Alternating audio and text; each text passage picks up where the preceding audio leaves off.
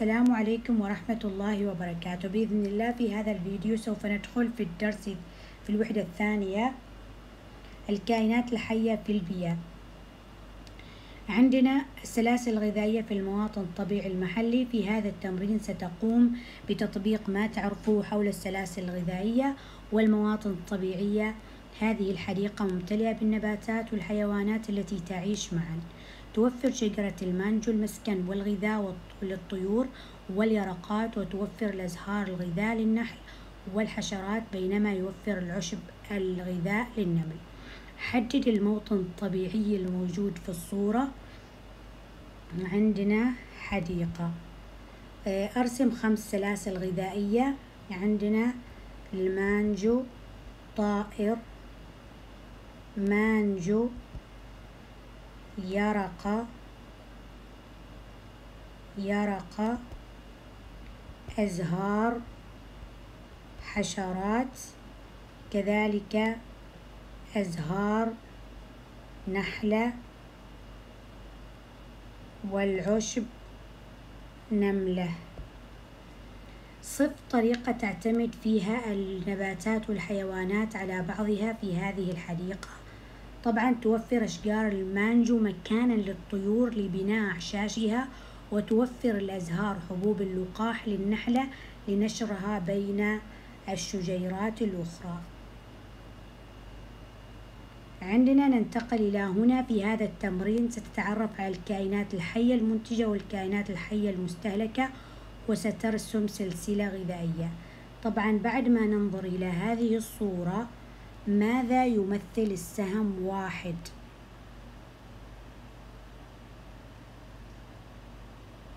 ضوء الشمس. ماذا يمثل السهم اثنان؟ ثاني أكسيد الكربون في الهواء. ما العامل الثالث الذي تحتاجه الشجرة لتصنع الغذاء عندنا؟ الماء. حدد الكائن المنتج والكائن المستهلك. ثلاثة هو كائن منتج. أما أربعة فهو مستهلك. وخمسة مستهلك. عندنا نرسم سلسلة اللي هي شجرة حمار وحشي وأسد.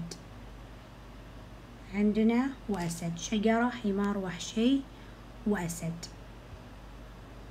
ننتقل للسؤال اللي بعده الكائنات الحية المستهلكة في السلاسل الغذائية.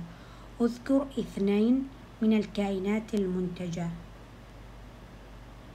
شجرة الكاسيا وحشائش. أذكر أربع حيوانات تأكل النباتات. غزال إمبلا وكذلك نمل أبيض وقرد البابون وحمار الوحشي.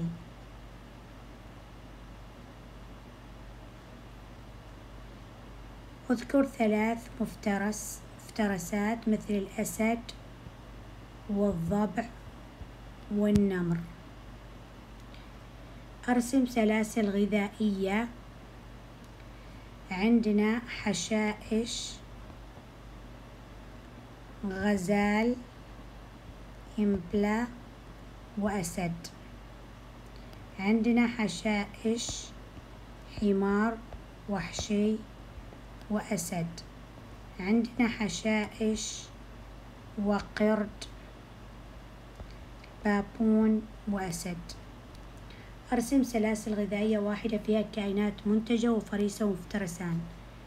عندنا حشائش حمار الوحشي والضبع وأسد. كذا انتهينا من حل هذا السؤال. ننتقل للسؤال اللي بعده. السلاسل الغذائية الموطن الطبيعي المختلف صحراء رمال الشرقية ورمال آل وهيبة. عندنا حدد اثنين من الكائنات المنتجة في المواطن الصحراء. عندنا الأعشاب والنباتات الصحراوية.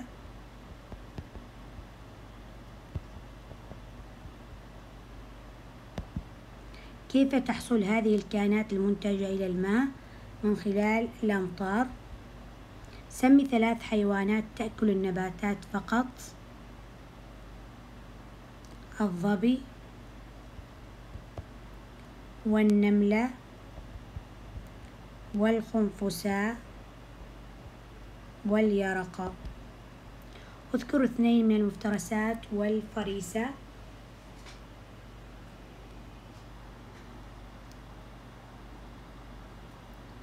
القط الرملي مفترس وفريسة الفأر.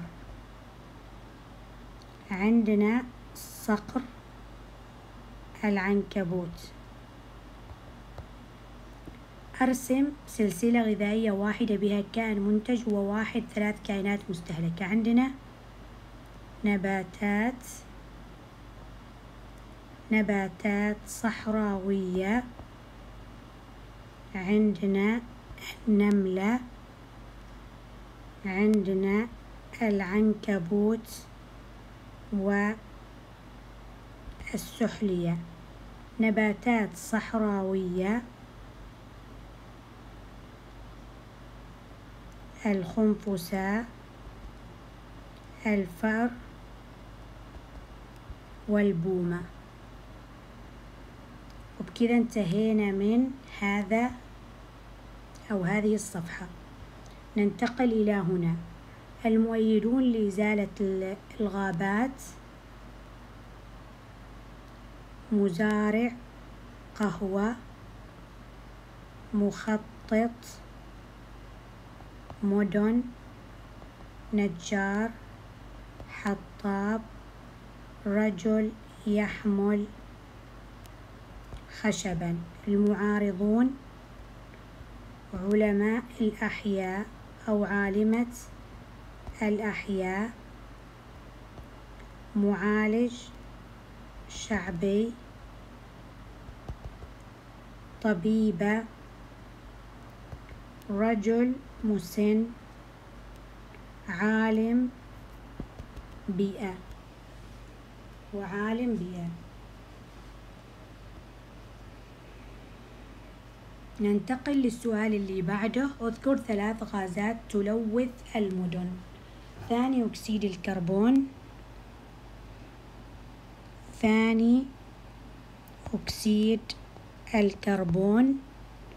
وثاني أكسيد الكبريت وأكسيد النيتروجين. ما من أين تنتج هذه الغازات الملونة؟ تنتج من عوادم السيارة. المدن الأكثر تلوثا هي التي تنتج الفحم عند احتراق ثاني أكسيد الكربون وثاني أكسيد الكبريت.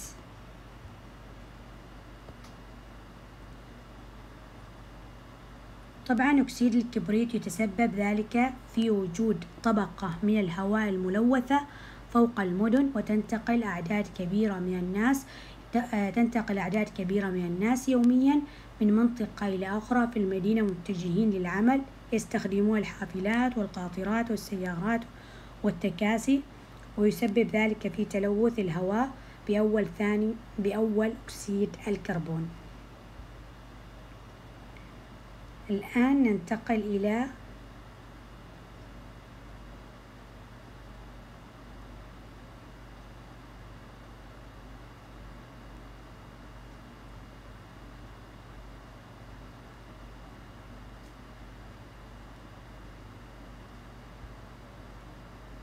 إلى هنا.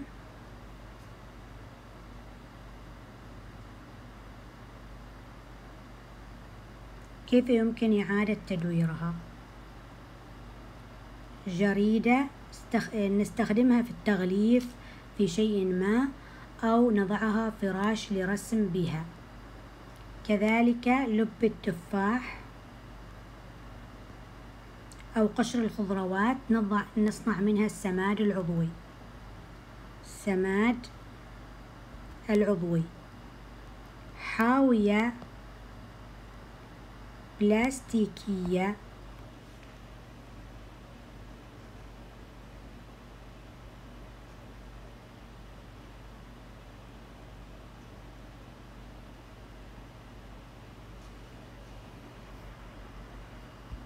أعرض لكم هذا الجدول.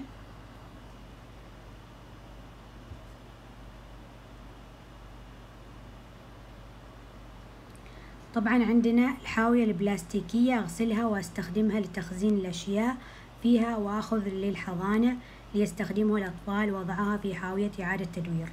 المجلة أعطيها لشخص آخر ليقرأها أو أخذها إلى المستشفى أو عيادة محلية ليقرأها الآخرون.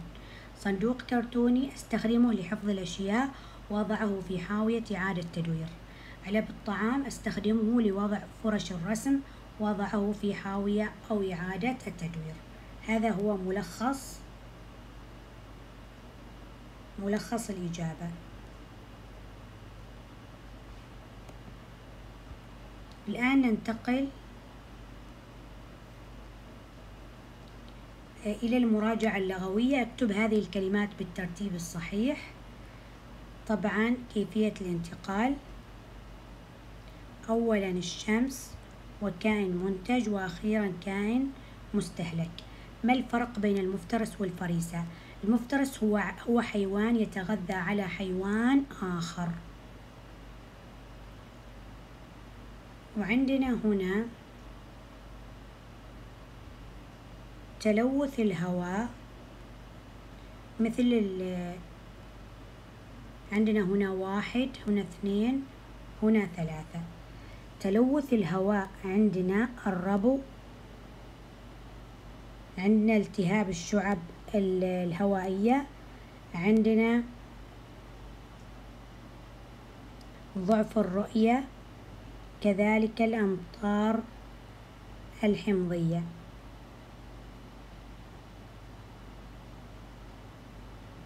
هذه جميعها واحد. أما بالنسبة لاثنين إزالة الغابات آه عندنا